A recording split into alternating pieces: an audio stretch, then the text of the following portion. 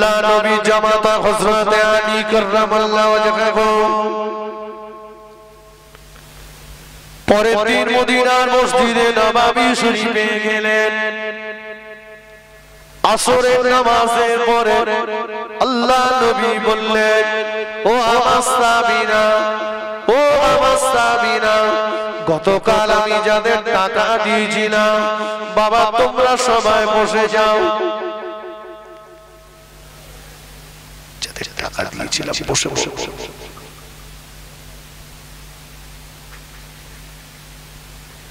আল্লাহ নবী যাকে একশো টাকা দিয়েছিলেন, ওই সাহাবাকে ডাকে বাবা সাহাবা, একশো টাকার হিসাব আমাকে বলো। সাহাবা একশো টাকার হিসাব দিলেন হিসাবটা বড্ড লম্বা হয়ে গেল। আল্লাহ টাকা দিয়েছিলেন। সাহাবাকে ডাকলেন, বাবা, সত্তর টাকার হিসাব আমাকে বলো। সত্তর টাকার হিসাব দিলেন, একশো টাকার চাইতে একটু কম হলো। পঞ্চাশ টাকা দিয়েছিলেন, বাবা সাহাবি, পঞ্চাশ টাকার হিসাব আমাকে বলো। পঞ্চাশ টাকার হিসাব নিলেন সত্তর টাকার চাইতে একটু কম হলো। আল্লাহ তিরিশ টাকা দিয়েছিলেন।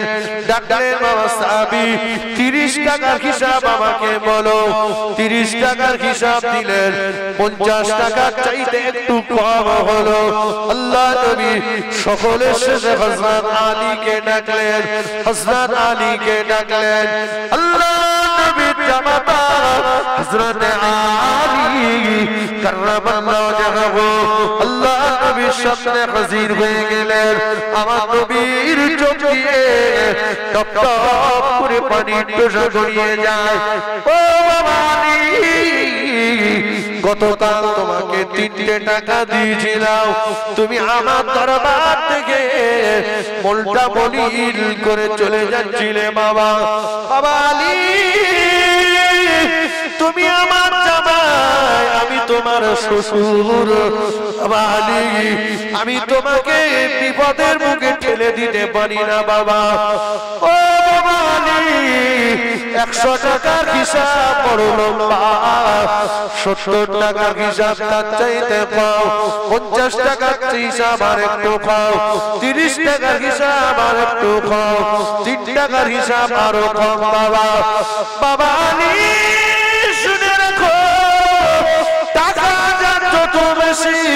হিসাব তার তত বেশি। কাবতে ময়দানে দুনিয়ার ধনী মানুষদের তুলনায় দিদার গরিব মানুষেরা পাঁচশত বছর আগে আমার আল্লাহর দয়ার জান্নাতে চলে যাবে।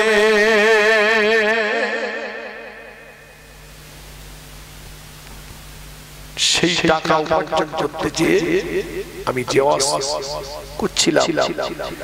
সেই টাকা উপার্জন করতে যে অন্যায় রাস্তায় পা বাড়াবো না আমার নবীও গরিব ছিল আল্লাহ নবীর পেটে তিনটে পাথর বাঁধা।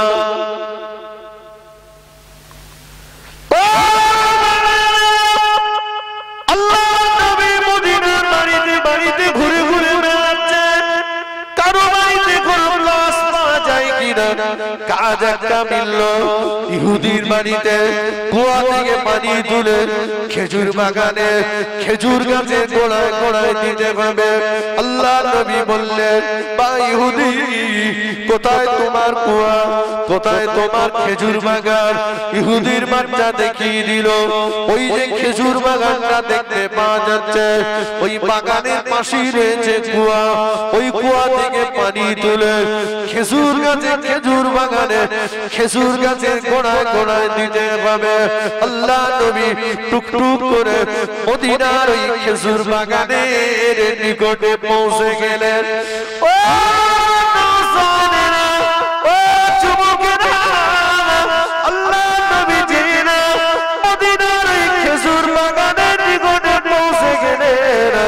ওই বাগানে যত খেজুর গাছ ছিল। সমস্ত খেজুর গাছগুলো আমার নবীকে দেখে সবাই তারা তাদের মাথাটা নিচু করে দিয়েছে আল্লাহর হুকুমে খেজুর গাছের জবান ঘুরে গেল। মারা বাবা ইয়া রাসূলুল্লাহ। মারা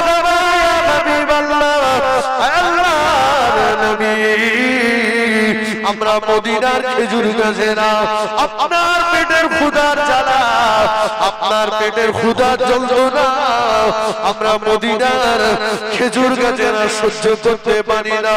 হুজুর আমরা খেজুর গাদিগুলো নিচু করে দিলাও। আপনি আমাদের গাদি থেকে খেজুর ছিঁড়ে ছিঁড়ে খান। আপনার পেটে ক্ষুধার জ্বালাও।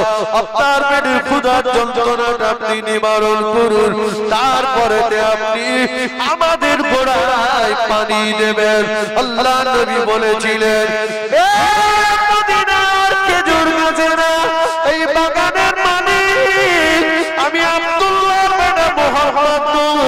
এই বাগানের মালিক হলো অমুক ইহুদি। ওই অনুমতিতে আমি মোহাম্মদুর রাসূলুল্লাহ, আমি একটা খেজুরও খাব না।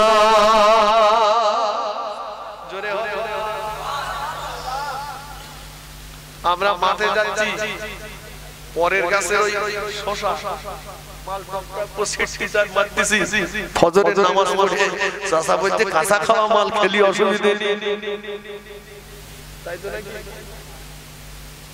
হ্যাঁ, হ্যাঁ, হ্যাঁ। আমার রসুল্লাহ পেটে ক্ষুধার জ্বালা। নবী বললেন বাগানের মালিক আমি নই খেজুর গাছেরা মাথা নিচু করে দিয়েছে। রসুল বললেন বাগানের মালিক আমি নই বাগানের মালিক অমুক ইহুদি। ইহুদির বিনা অনুমতিতে আমি একটা খেজুর খাব না। যদি বলুন না?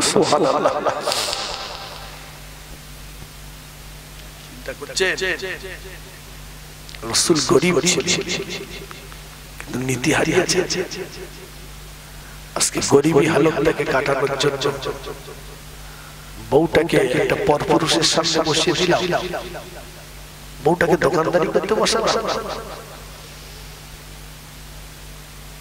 দিনেওয়ালার মালিক, দিনেওয়ালা তো আল্লাহ। কথা ঠিক কিনা? ভরসাটা আল্লাহর উপরে রাখুন না। রাখো নামাজের পাটিতে বসে কাটো আল্লাহ পাক না খাইয়ে রাখবেন না। কথা বুঝেন নামাজ পড়লে কি খাওয়াবে? হ্যাঁ নামাজ যদি নামাজের মতো হয়, আপনার মাথাটাও বাড়ি চলে চলে বলুন সুবহানাল্লাহ। আল্লাহ পাকের মাহবুব বান্দা। আল্লামা শিউলি নোমানি রহমাতুল্লাহ আলাইহি। যিনি সিরাতুল কিতাব সিরাতুল নবী কিতাব লিখেছেন। ও আমার ভাইজানেরা আল্লাহর ওলি হযরত শিউলি নোমানি রহমাতুল্লাহ আলাইহি। কত বড় আল্লাহ মাহবুব বান্দা ছিলেন। শিউলি নোমানি বলেন আল্লাহ নবী প্রতিদিন শিউলি আমার বাড়িতে আসতেন, আমার ঘরের ভিতরে আল্লাহ যখন আমার ঘর থেকে চলে যেতেন, আমি শিউলি নোমানি আল্লাহ নবী আমার দুই মুখে চুমা দিয়ে চলে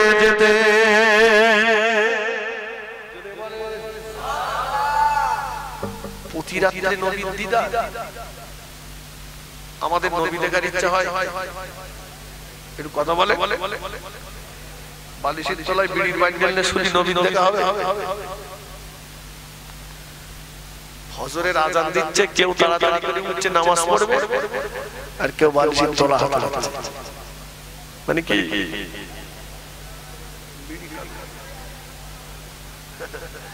ও না খেলি থেকে আমার পায়খানা খেলি আর কি মরণ দেখো সর্বনাশ। আমার চিন্তা হয় এরা কবরে গিয়ে বিড়ি কিনা মন কান্না কিন্তু যখন বলব যারা নামাজি ব্যক্তি হবে ওরা তখন বলবে আমার আসরের নামাজ কাজা হয়ে যাচ্ছে তাড়াতাড়ি আমার অজুর পানির ব্যবস্থা। জোরে। যাতে নামাজ আর তারকে বিড়ি খাওয়া অভ্যেস এরা যদি মন কেন্দ্রে গেলে বলে যে তাড়াতাড়ি মাল দাও কি সর্বনাশ বিড়ি যারা খায় সাংঘাতিক। দু সালে প্রথম যখন আমি হাসপাকে গিয়েছি তো আমাদের এলাকার কোন একজন মাস্টার মশাই উনিও গেছে মিনাতে কোরবানি করতে গেছে উনিও আমার সঙ্গে গেছে আমার সঙ্গে মাঝেরাই হুজুর কিবলার সাহেব আজকে রাকিবুল ভাই? রাকিবুল ভাইয়ের আব্বা। একই সঙ্গে ছিলাম একই সঙ্গে মিনাতে কোরবানি করতে গেছি। ওই প্রথম মানে ওই বছর আমাদের জনাব আলহাস নামা আব্দুল জলিল সাহেব হুজুর রহমতুল্লাহ আলাইহি। জলিল সাহেব চেনেন জলিল সাহেব হুজুর দু হাজার দশ সালে হুজুরের লাস্ট আমার এখনও মনে আছে। আমি তখন হেরেমের সামনে বসে আছি। আর জলিল সাহেব হুজুর পিছন দিক দিয়ে আমাকে যে বলছে জোনায় পান আছে হুজুর খুব পান খেতে। ওই হুজুরের শেষ একই সঙ্গে ছিলাম। যাই হোক, তো আমাদের হায়দার সাহেব হুজুর আছে। আমিও আছি। ও লোক বলছে, আমি আমি আসছি? কোরবানি কোরবানি হয়ে গেছে, সে লোকের পাই নাই তা আমি বলছি, হুজুর, আপনি এদের নিয়ে আমি দেখি কোথায় আছে। একটু আগে যেয়ে দেখি পাহাড়ের কোল দিয়ে ধোঁয়া বার হচ্ছে। আমি বলি, পাহাড় ধরে গেল নাকি? যে দেখি চাষা হাজির মাল মাথায় ওখানে বসেই মাল টানতেছে। আমি বলি, এ কেন? তবে তো কটা নিয়ে খাব বলে একটু ফাঁকা জায়গা পাই এখন ফাঁকা মতো বেজি দেয় খাচ্ছি। আমি তখন চিন্তা করলাম আল্লাহ কি সাংঘাতিক নেশা। তা না হলে ভারত থেকে পেলেনে করে বিড়ি বইয়ে ও আরবে এনেছে খাবে তাই কি যাতাই নেশা। ছিড়ে দেয়। যারা খান আমি আপনাদের সম্মানে ঘাটতি করার জন্য অসম্মান করার জন্য বলছি না আল্লাহ রহমতের ফেরেস্তা আপনার পাশে আসবে না। কথা বুঝেন রহমতের ফেরেস্তা আপনার পাশে আসবে এই মুখে দুর্গন্ধ থাকার কারণে। অথবা ওটাকে ছেড়ে আস্তে আস্তে ত্যাগ করুন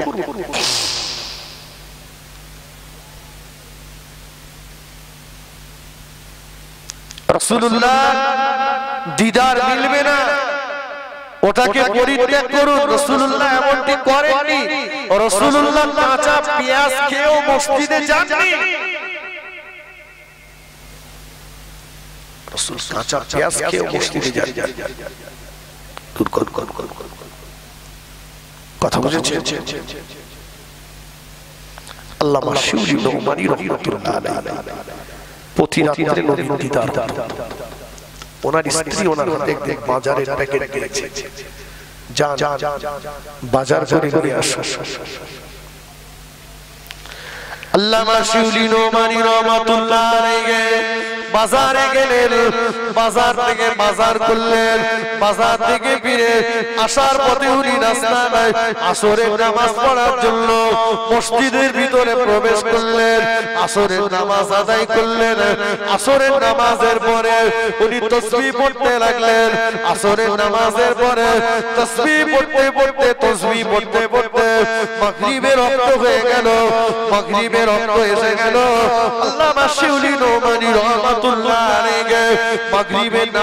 দাঁড়িয়ে গেলেন নামাজ নামাজের পরে আল্লামা শিউলি নোমানি রহমাতুল্লাহ আলাইহি আওয়াবিনের নামাজ পড়লেন। আওয়াবিনের নামাজের পরে আল্লামা শিউলি নোমানি রহমাতুল্লাহ আলাইহি কোরআন তেলাওয়াতে মশগুল হয়ে গেলেন। বাজারের কথা হুজুরের মনে নাই। আল্লামা শিউলি নোমানি রহমাতুল্লাহ আলাইহি কোরআন তেলাওয়াত করতে করতে মসজিদে এশার আজান হয়ে গেল। এশার নামাজ আদায় করলেন। এশার নামাজের পরে শিউলি নোমানি হুজুরের মনে পড়ে গেল আমি যে বাজার করতে এসেছিলাম আমার বিবি আমার কাছে বাজার করতে দিয়েছিল আমার বাজারের প্যাকেটটা তো বাড়ি নিয়ে যাওয়া হলো না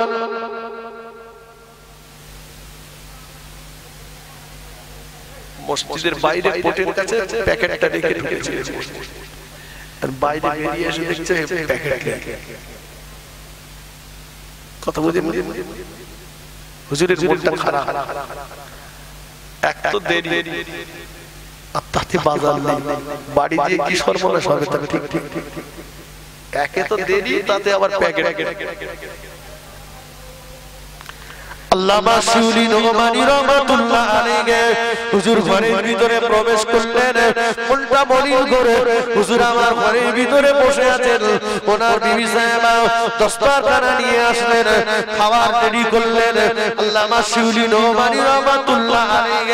যেগুলো বাজার থেকে বাজার করেছিলেন, ওনার বিবি সাহেবা রান্না করে সেইগুলোই শিউলি নোমানি হুজুরের সামনে হাজির করলেন। আল্লামা শিউলি নোমানি চোখ দিয়ে টপ করে পানির টোটা গড়িয়ে যায়। বিবিকে বললেন ও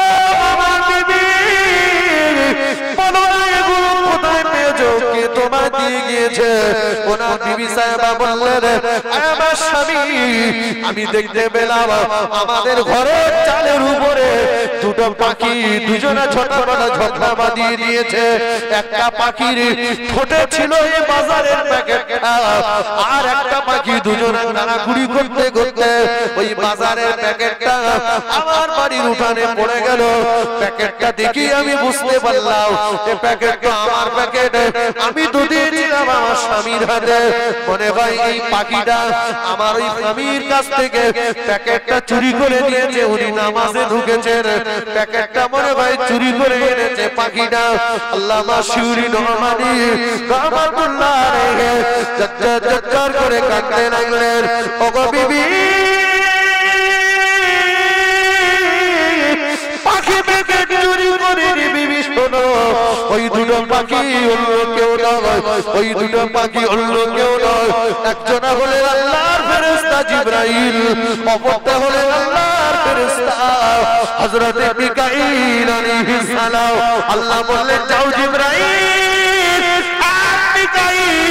চলে যাও আমার শিউলি, আমার নামাজে আমার ইবাদতে মশগুল হয়ে গিয়েছে। আমার শিউলির বাজারটা শিউলির বাড়িতে পৌঁছে দাও।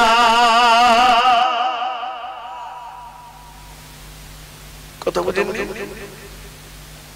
নামাজে মজগুল আর আমরা কোন রকমের বই আর কত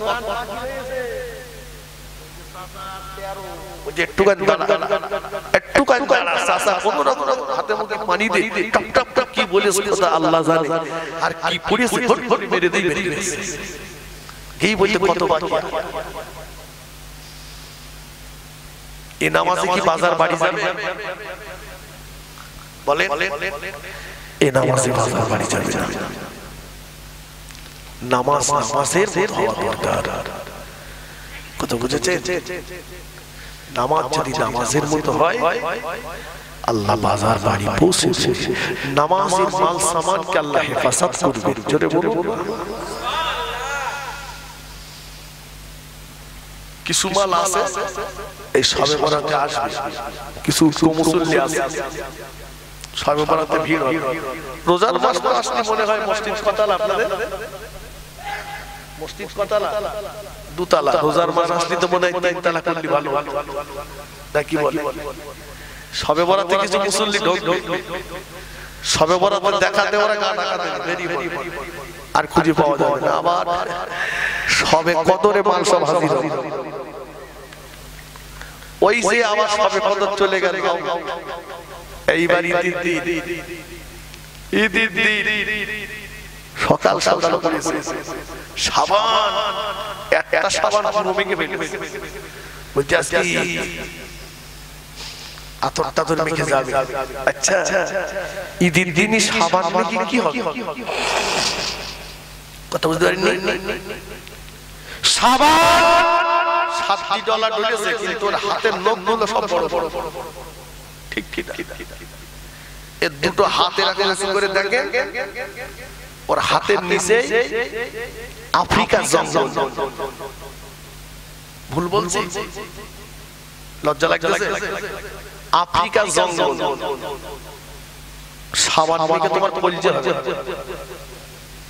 কিচ্ছু হবে না সাবান মেখে। তুমি যদি তোমার নাভির নিচের অবাঞ্ছিত লোক লোক যদি পরিষ্কার না করো তোমার নামাজ, তোমার ইবাদত আল্লাহর কাছে কবুল হবে।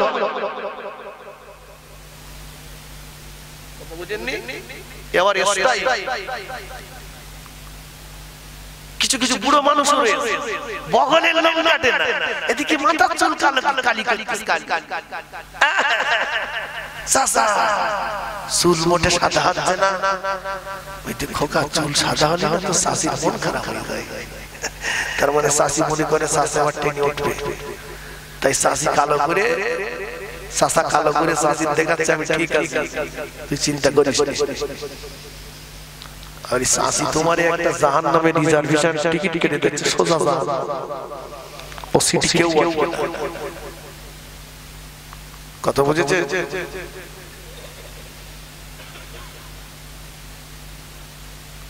এইবারে সাবান টাবান মেখে আতর টাতর মেখে নতুন জামা গায়ে দিয়ে দিয়া ময়দানে গিয়ে? একদম আগের কাতারে দাঁড়িয়ে আছে। এই, শোন, আগের কাতারে দাঁড়িয়ে আছিস তুই ভালো ভালো ফজরের নামাজ পড়েছিস? বলতে পারেননি? ফজরের দুই রাকাত নামাজ কি?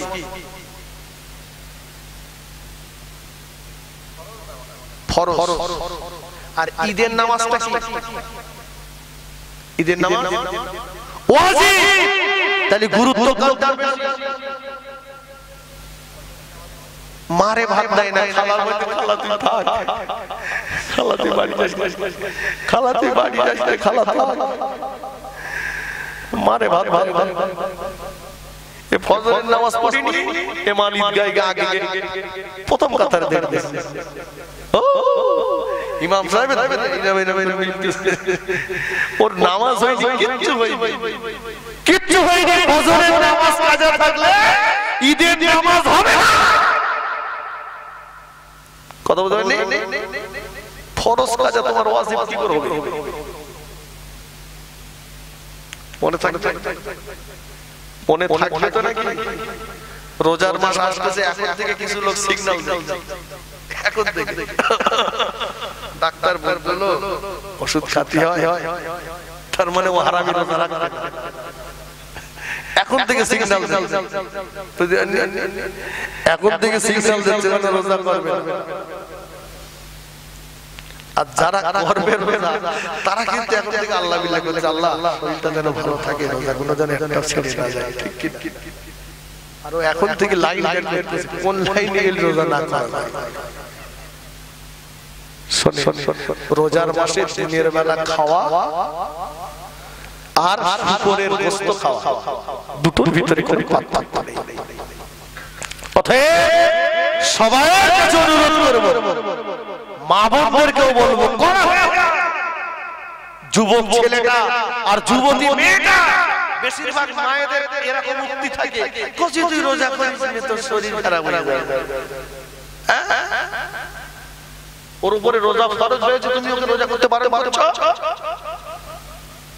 শরীর স্বাস্থ্য দেওয়ার মালিক আল্লাহ জানে। তুমি মা তুমি এ কথা কি করে বলতে পারো? বরঞ্চ আপনি নিয়ত করুন। এই ছেলে তো রোজা করতে হবে? তুই সাবালিকা হয়ে গেছিস রোজা করতে হবে। আমি তোর বেরোজগারের পাতে আমি ভাত দেবো না। কথা বস্তুর রহমান খোলা জমিনে যার মাজার। নামাজ কাজা করে এসে মারে বলছে, ভাত দাও। মা বলছে বস্তুর রহমান, তুই জানিস না, আমি তোর মা জীবনে কোনোদিন বেনামাজি পাতে ভাত দিই এমনি এমনি হাঙ্গা মা নামাজ পড়ে না পড়বে হ্যাঁ? এদেরকে নামাজ, নামাজি। রোজা করতে বলুন। আল্লাহ পাক আমাদের সবাইকে আল্লাহ আমাদের সকলে সুস্থ শরীরে সুস্থ হালতে আল্লাহ যেন তিরিশটা রোজা পরিপূর্ণভাবে আদায় করিয়ে নেন বলুন সকলে আল্লাহ জোরে বলেন আল্লাহ আমিন। সকলে বিসমিল্লাহ শরীফ সহ সূরা ফাতিহা তিনবার। দশ বার সূরা ইখলাস বার দরুদ শরীফ পড়ে দোয়া। তেলাওয়াত করতে তার মাঝখানে একটা কথা বলি। আমি অধম গুনাহগার। এই অধমের দ্বারাই বসিরাটি আল্লামা রুহাল আমিন রহমাতুল্লাহ আলাইহি এবং দাদা হুজুর পীর কেবলা রহমাতুল্লাহ স্মৃতিতে একটা বেসরকারি এতিমখানা মাদ্রাসা চলছে। আমার পীর আল্লামা কালিমুল্লাহ সিদ্দিকী রহমাতুল্লাহ আলাইহি। পীর আবু ইব্রাহিম সিদ্দিকী রহমাতুল্লাহ আলাইহি। হুজুরদের নিজে হাতে প্রতিষ্ঠিত এই এতিমখানা মাদ্রাসা। বাবা বর্তমানে একশোর উপরে বাচ্চা। আপনাদের এলাকারও অনেক বাচ্চা আছে। এমন বাচ্চা আছে যাদের বাপ আছে তো মা নেই, মা আছে তো বাপ নেই। আবার এমনও বাচ্চা আছে যাদের বাপ, মা কেউ নেই। বর্তমানে মাসে প্রায় এক লক্ষ টাকা খরচ।